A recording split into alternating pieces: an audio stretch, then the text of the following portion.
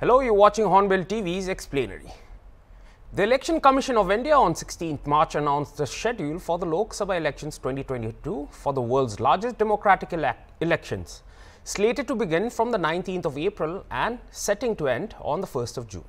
The election process will take place in seven phases, while the results will be declared on June 4th.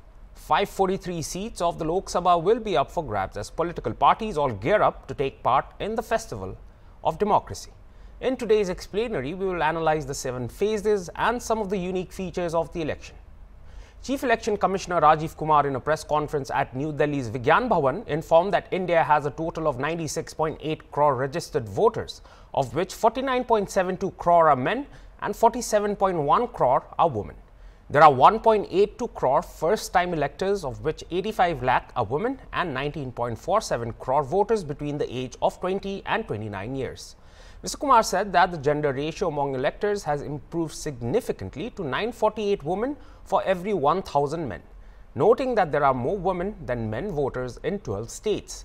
This is the first time in a general election that people above the age of 85 years as well as those with more than 40 percent disability will be able to vote from their own homes. There are 85 lakh registered voters who are aged above 85 years, while the number of voters with disabilities is 88.4 lakhs. The electoral roll also contained 21.18 lakh centenarians. CEC Rajiv Kumar said 55 lakh electronic voting machines will be used to, in the entire exercise. Voters above 85 years and persons with disabilities with 40 percent benchmark disability can vote from home. Drone based checking will be in place at some international borders in order to check violence, the CEC added. 2.6 3 crore new electors who have been included in the electoral roll are between 18 and 29 years of age, out of which around 1.41 crore are female electors, which surpassed the newly enrolled male voters at 1.22 crore by over 15 percent. Around 10.5 lakh polling booths have been set up, which will be manned by 1.5 crore polling officials. Another unique feature is that this parliamentary election will be the second longest polling exercise in India's electoral history. The longest so far was the country's first general election, which was held over a five month period between September 1951 and February 1952. The current Lok Sabha's term ends on June 16th, and a new house must be formed before that. The terms of four state assembly also end in June. In the last general elections, the BJP won 303 seats, aiming for a third consecutive term, while the Congress secured 52 seats.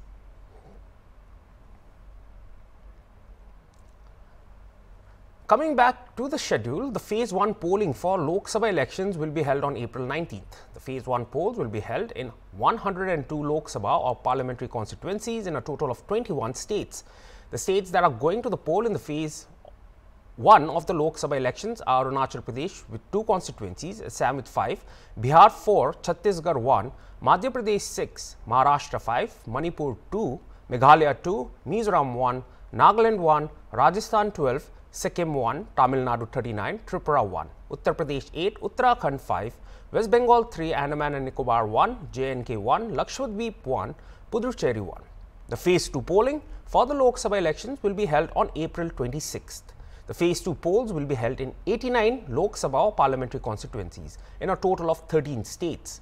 The states that are going to poll in phase 2 of the Lok Sabha elections are Assam 5, Bihar 5, Chhattisgarh 3, Karnataka 14, Kerala 20, Madhya Pradesh 7, Maharashtra 8, Manipur 1, Rajasthan 13, Tripura 1, Uttar Pradesh 8, West Bengal 3, Jammu and Kashmir 1. Phase 3 polling for the Lok Sabha elections will be held on May 7th. The phase 3 polls will be held in 94 Lok Sabha or parliamentary constituencies in a total of 12 states. The states that are going to poll in the phase 3 of the Lok Sabha elections are Assam 4, Bihar 5, Chhattisgarh 7, Goa 2, Gujarat 26, Karnataka 14, Madhya Pradesh 8, Maharashtra 11, Uttar Pradesh 10, West Bengal 4, Dadra and Nagar Haveli and Daman and Diu 2, Jammu and Kashmir 1. Phase 4 polling for the Lok Sabha elections will be held on May 13th. The Phase 4 polls will be held in 96 Lok Sabha or parliamentary constituencies in a total of 10 states. The states that are going to poll in Phase 4 of the Lok Sabha elections are Andhra Pradesh 25, Bihar 5, Jharkhand 4, Madhya Pradesh 8, Maharashtra 11, Odisha 4, Telangana 17, Uttar Pradesh 13, West Bengal 8, Jammu and Kashmir 1. The phase 5 polling for the Lok Sabha elections will be held on May 20th. The phase 5 polls will be held in 49 Lok Sabha or parliamentary constituencies in a total of 8 states. The states that are going to the poll in phase 5 of the Lok Sabha elections are Bihar 5, Jharkhand 3, Maharashtra 13, Odisha 5, Uttar Pradesh 14, West Bengal 7, Jammu and Kashmir 1, Ladakh 1. The phase 6 polling for the Lok Sabha elections will be held on May 25th. The phase 6 polls will be held in 57 Lok Sabha or parliamentary constituencies in a total of 7 states. The states that are going to the poll in phase 6 of the Lok Sabha elections are Bihar 8, Haryana 10, Jharkhand 4, Odisha 6, Uttar Pradesh 14, West Bengal 8, Delhi 7. While in the 7th and last phase will be held on June 1st. The phase 7 polls will be held in 57 Lok Sabha seats in a total of 8 states. The states that are going to poll in phase 7 of the Lok Sabha elections are Bihar 8, Himachal Pradesh 4, Jharkhand 3, Odisha 6, Punjab 13, Uttar Pradesh 13, West Bengal 9, Chandigarh 1.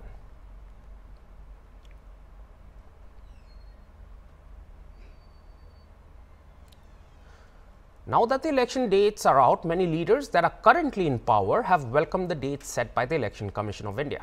However, opposition parties have welcomed the announcement, but some have pointed out that the spread out polling process is likely to benefit the Bharatiya Janata Party. The Trinamool Congress has also said the poll body did not take into account the West Bengal government's suggestions of holding the elections in one or two phases. We wanted a single or twin phase Lok Sabha election in the state. Our views were that a multiple phase election helps political parties with deeper pockets and gives them an advantage over others.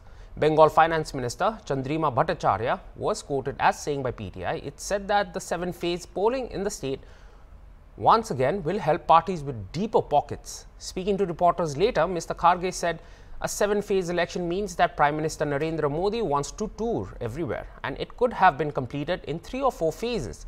We are not anxious about what is going to happen, but Modi ji putting seven phases, it means that he wants to tour everywhere. In this country, I have also contested nearly 12 elections and there hardly used to be four phases. Sometimes it used to be even one phase. News agency PTI quoted him as saying. In a scathing criticism of the Election Commission of India, Rajya Sabha Member of Parliament Kapil Sibal on Sunday accused the poll panel of partisanship towards the ruling Bharatiya Janata Party. Speaking to news agency ANI, Sibal said, they are showing their loyalty towards the BJP and saying that we are scheduling elections in seven phases so that the army of campaigners and resources that BJP have can use it accordingly. ECI's loyalty is visible in every phase, Sibal alluded.